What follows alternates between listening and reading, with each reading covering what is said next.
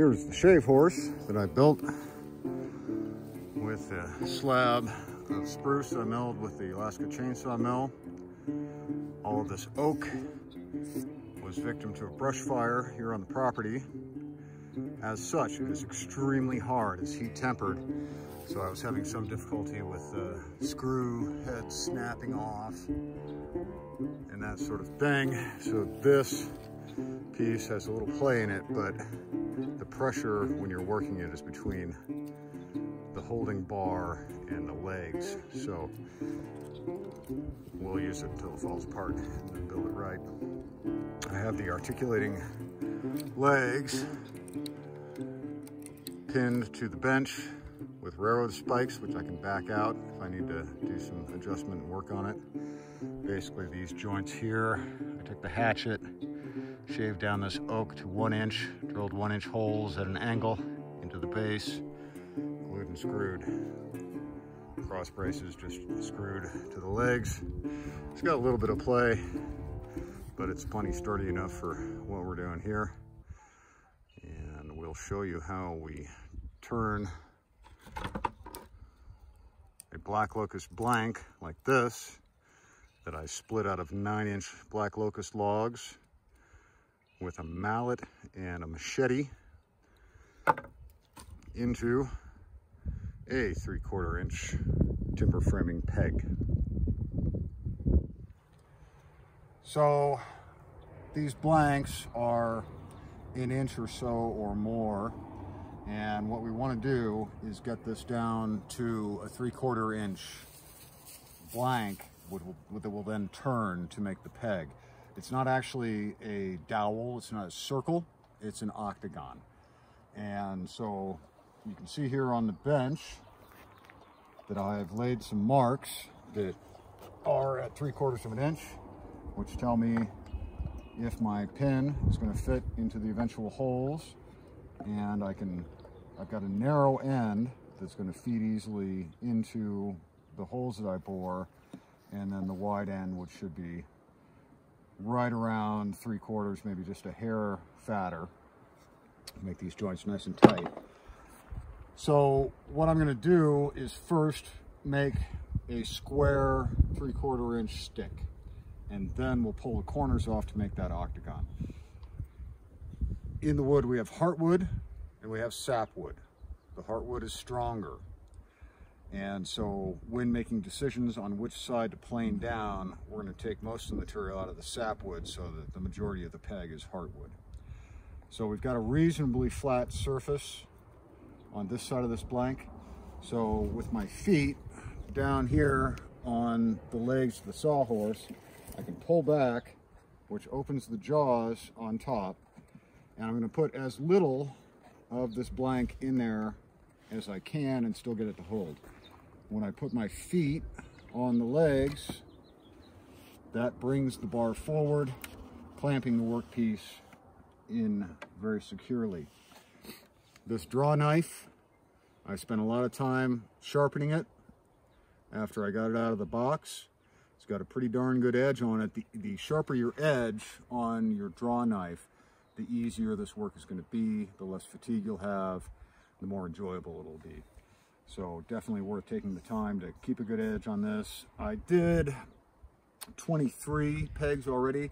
Then I went ahead and tuned it up and I just did, you know, about four or five strokes with a thousand grit stone and then a 6,000 grit stone and then honed it to get it back to a really nice edge.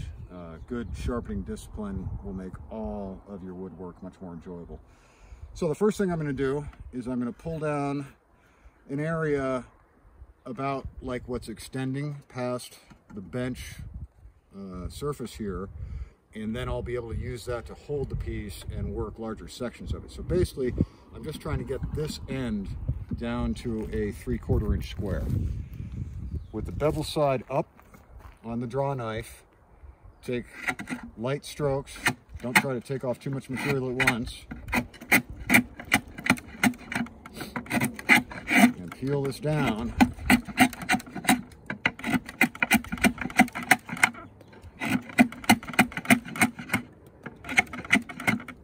Okay, if we look at the end here, You can see I have a good flat plane there. We like that. And then I'll basically clean up this side so I've got a good flat edge that's parallel to that. So I will release the jaws with my feet, turn the stock, put it back in, and then I want to get this to three quarters of an inch. Which is probably pretty close to that. So I can check that against my marks here, and sure enough, three quarters of an inch. Now we'll do the sides and get them to that same tolerance, trying to attempt to be square to the two parallel cuts I just made.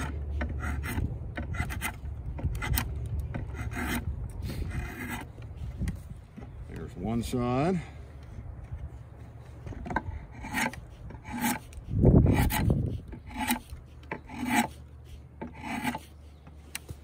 There's the other side. So now we have this on one end. We can check it against our marks on the bench.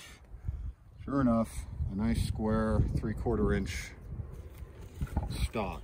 So now that end I just did goes into the vise and I can't get all the way to where my cut started so we'll clean up that middle part later and then I'm basically going to use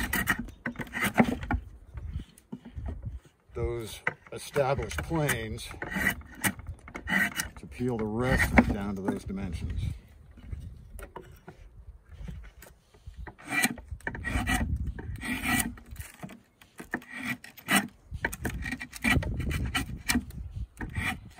So I'm not taking corners off or anything. I'm just focusing on getting to square at this point. You can sight down the piece and make sure that your planes are relatively in line.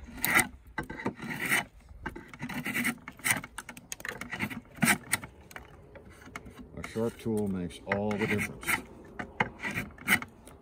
Okay.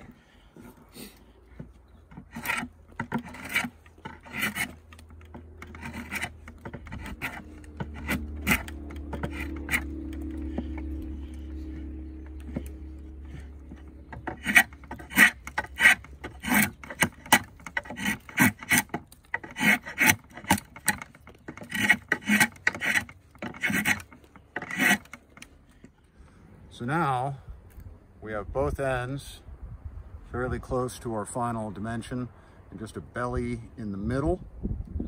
So I'll take the half that's reasonably straight, spin the stock around, put that in, then I can clean up these little bellies that are high. Quite easily.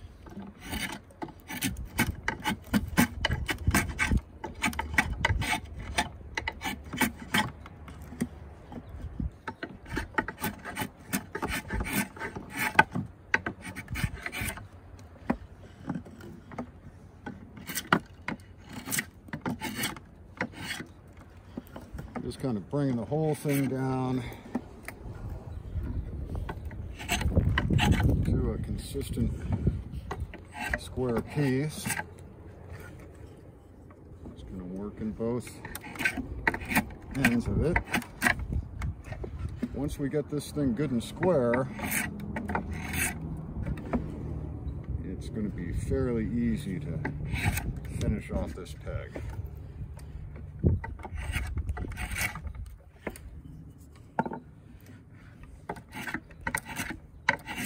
So the diameter of this peg is relatively crucial. If it's too small, then it's not going to hold the joint securely.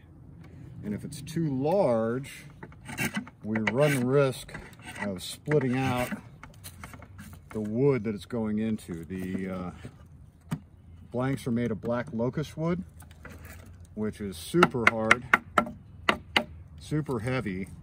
The timber frame is made of Douglas fir, which is much softer. So if these are too large, then when you go to drive them in, you're gonna split out pieces of the softer wood because this is not gonna give against that timber frame. Okay, so we have a nice blank, three quarters of an inch all the way around. We will pull off the corners by setting the stock in the vise and then holding the draw knife at a 45 degree angle. And if you look at the end here, you can see I've got that 45 degree angle and essentially I'm looking for every one of these surfaces to be approximately the same length. So that's about 3 sixteenths. Okay, so there's the other one. And then I just flip it over and repeat. About like so. So now we have an octagon. Put that in the vise. Do the same thing on the other end.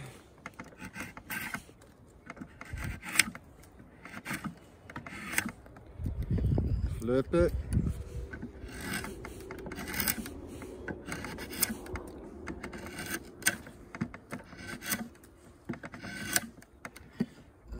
Okay, so we have octagons on both ends and a little bit to clean up in the middle. We'll do that by setting the corners up in the vise.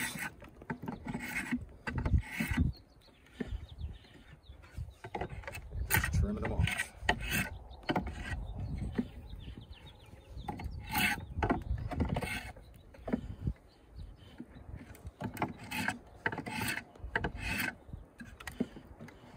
Okay. This one's getting pretty close. I'm liking it on this half. On this half, it's a little fat. We'll go ahead and check both against our reference marks, reference marks here on the bench. So I set the work in there, and this one is within the tolerances, which is good.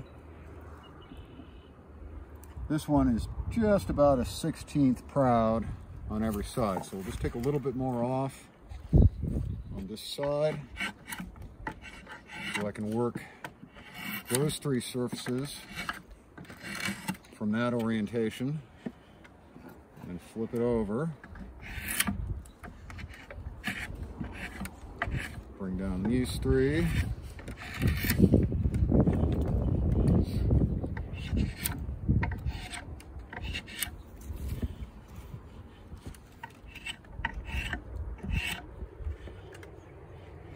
Okay. That is good. Okay, so now we have a nine inch long, three quarter inch octagonal dowel. So we still need to taper down one end so that it's narrower and easily fits into the holes that I'm gonna bore on the timber frame. So we basically, you know, just like the point of a nail. So we put the piece of stock in, just pare down.